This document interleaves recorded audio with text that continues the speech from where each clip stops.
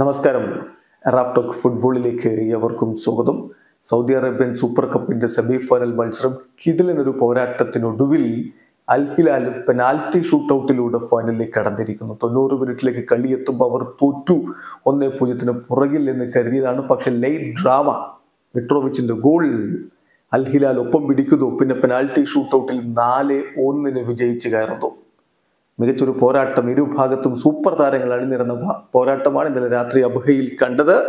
അൽ ഹിലാലിന്റെ നിരയിൽ മിട്രോവിച്ചും മൈക്കൽ ഡെൽഗാഡോയും മിലങ്കോവിച്ച് സേവിച്ചും സലേം അൽ ദൌസാരിയും യാസിൻ ബോനോയും റനൽ ലോദിയും ഒക്കെ അണിനിരന്നപ്പോൾ മറുഭാഗത്ത് Roberto Firmino Riyad Mahrez Franck Kessie Ibanez Mendy Demiral തുടങ്ങിയവരൊക്കെ ഉണ്ടായിരുന്നു. മത്സരത്തിൽ അറുപത്തി ആറാമത്തെ മിനിറ്റ് റോബർട്ടോ ഫെർമിനോയുടെ ഗോളിൽ അൽ അഹിലി മുന്നിലെത്തി. മനോഹരമായൊരു നീക്കമായിരുന്നു അത്.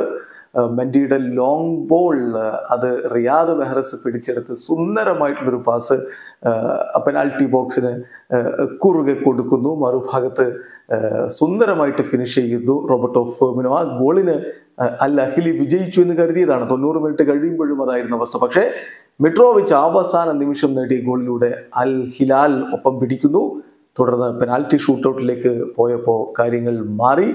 അൽ അഹ്ലിയുടെ ഭാഗത്ത് റോബർട്ടോ ഫെമിനോക്ക് മാത്രമാണ് പന്ത് വലയിലേക്ക് എത്തിക്കാൻ കഴിഞ്ഞത്. ഗബ്രിയൽ വെയ്ഗയും ഇബാനസും പെനാൽറ്റികൾ വലയിലേക്ക് എത്തിക്കാൻ കഴിയാതെ പരാജയപ്പെട്ടപ്പോൾ മറുഭാഗത്ത് റൂബൻ നവസും സലേം അൽ ദൌസാരിയും മിട്രോവിച്ചും മിലങ്കോവിച്ച് സേവിച്ചും ഒക്കെ പന്ത് വലയിലേക്ക് എത്തിച്ചതോടെ അൽ ഹിലാൽ ഫൈനലിലേക്ക് കടന്നു. അൽ അഹ്ലി പുറത്തേക്ക്. വീഡിയോ അവസാനിക്കുന്നു.